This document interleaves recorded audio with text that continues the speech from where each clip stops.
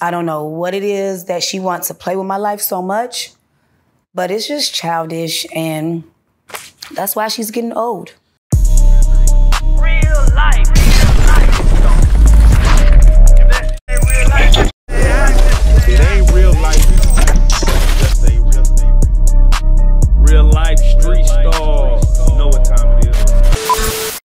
So let's talk about it, man. The last time you were here, uh, of course, you know we talked about Joseline's situation, uh, your your feud with Joseline that happened at the time during the reunion.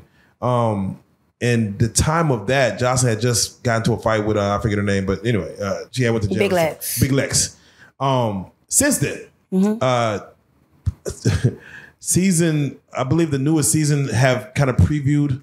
Um, what is y'all's relation? Have you uh, what what?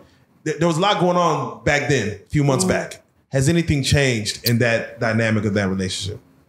I mean, she asked me, well, she didn't ask me. Uh, Zeus called me a couple months ago and they asked me to do season four. And I thought that Joseline would be apologetic. They told me Ballistic would not be a part of season four. He wouldn't be on set. He wouldn't have anything to do with it. And so I agreed to come along and do season four.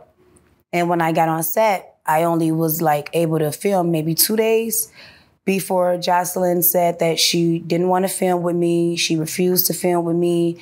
If I was on her set, she was out. And so I ended up leaving my job, couldn't go back to my job because they didn't want me to leave in the first place. Like I had my whole life going for myself. It's like every single time I have my shit going for myself, here comes Zeus fucking around, fucking up my shit and fucking up my flow. You know, because I didn't ask, you know what I mean? They called me to do the season. We've been in talks to do her next season, but that was over a year ago. Once I didn't hear anything back from them, I just thought like, fuck it. So here I am, bartending downtown Chicago, you know, getting those racks, like getting money, living my life, traveling, doing me. Yeah. Here they come along, call me to do season four, and then I get out there and she refused to film with me. So I don't know what it is that she wants to play with my life so much, but it's just childish, and that's why she's getting old. Okay, well, um, I wish that situation well. Uh, I wish you know everyone well. You know, hopefully the shows kind of go crazy. But don't get me wrong, I feel like everything happens for a reason because this last season looked very, very, very, very cheap.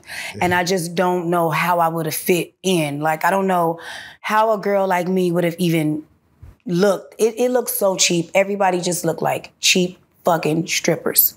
Like cheap, nasty, hot dog loving, ham hock boiling strippers. God damn it. They a mess on that season four.